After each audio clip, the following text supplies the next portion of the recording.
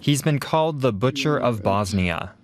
But starting today, Ratko Mladic has a chance to prove he's innocent. Testimony so far has focused on the deadly siege of Sarajevo. Prosecutors say Mladic ordered his forces to directly target civilians with sniper and mortar fire. That charge was categorically denied by the defense's first witness, Mile Sladoja, a Serb military commander in Sarajevo during the war.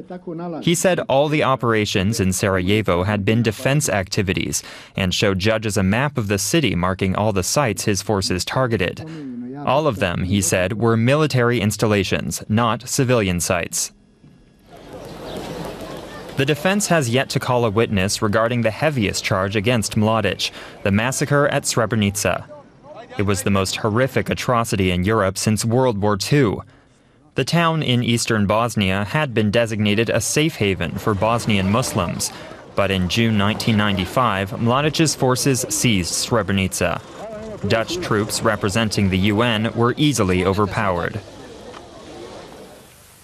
What followed was a bloodbath. Almost 8,000 Muslim men and boys were killed. Prosecutors say Mladic was the mastermind behind the operation and that the deaths constitute genocide. Mladic's defense has a total of 207 hours to question witnesses. If convicted, he could face the rest of his life behind bars.